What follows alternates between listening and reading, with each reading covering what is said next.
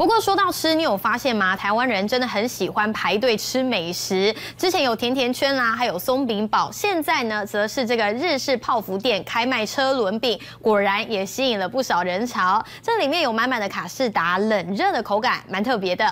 另外还有北海道爆浆 cheese 塔也重返台湾了，这一次还有新的口味，一天能卖六百颗。米白色粉浆，快手扫成像是飞碟状，印上胡子爷爷小图案，挖一勺像是冰淇淋馅的软软泡芙，卡哇伊车轮饼完成，但吃起来如何呢？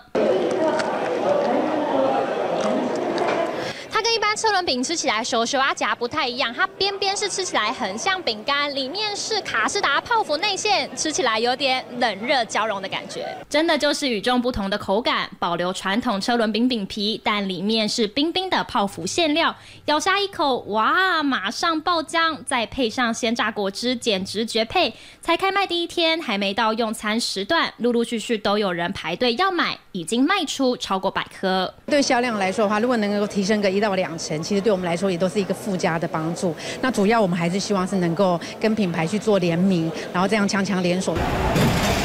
另一边计时器倒数完，就是香喷喷起司塔出炉啦！原味起司、巧克力、抹茶，还是看着粉嫩嫩、覆盆梅、草莓口味。号称三年前席卷台湾的日本排队爆浆起司塔，重磅快闪三个月。